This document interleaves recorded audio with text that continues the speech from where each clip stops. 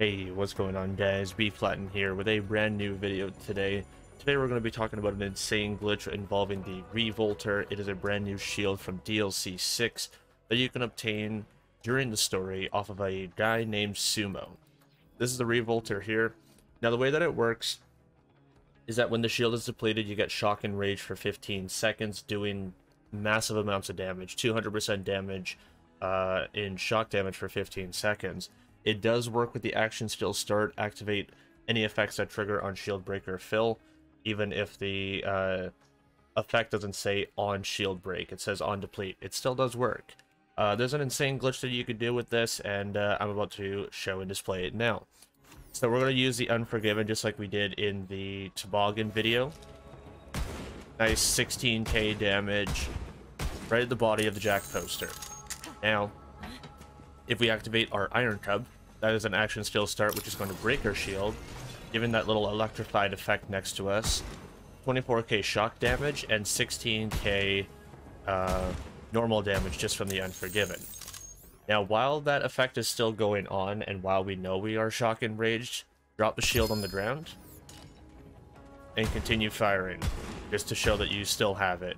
Okay, now it is gone, we don't have the effects next to us anymore, However, if we keep shooting our Jack poster here, you'll notice that there is 16k damage and still 24k damage that is going through shock damage, even if the effect is gone and our shield is on the ground, and we have no shield or revolter equipped. Now, in order to transfer this over, what we're going to do is we're going to pick up our revolter and we're going to automatically equip it. Now our revolter is equipped, and what we're going to do is we're going to unequip it into our backpack so we have 46 out of 50 in our backpack. Now what we do is we're going to map transition and we're going to map transition into Pandora and into Arms Race. We're going to load into Arms Race. Now I've already done the Arms Race mission where you activate the generators and everything and that's it. Uh, and I've only gone into Arms Race once in order to uh, test out the glitch before recording. It still works.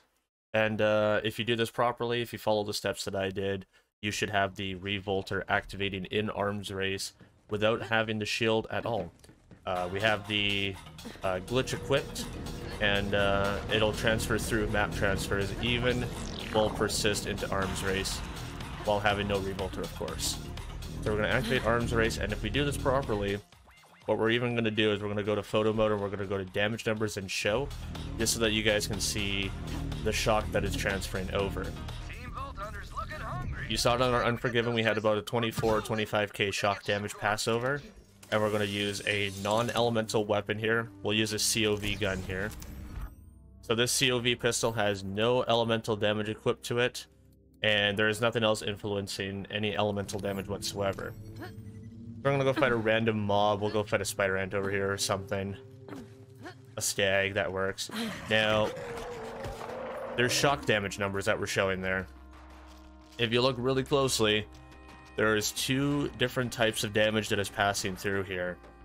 There is the blue number, which is shock damage, and there is the white number, which is kinetic damage. The Revolter is persisting, and it is staying through the uh, arms race, uh, the arms race DLC. There is no elemental damage on here, but it will persist every single shot that you do. It is all Revolter that is passing over, and that's why these things are dying pretty quickly. Um, we can go take on a Feral Stag over here. All shock damage that is passing through, that's all shock damage.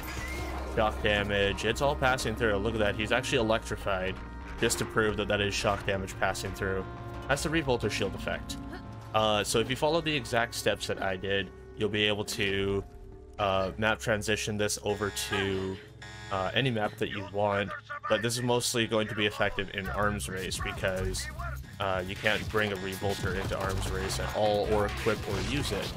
So uh, these guys are just dying really, really quickly because they have shields on. So we're one-shotting the shields and we're one-shotting their HP.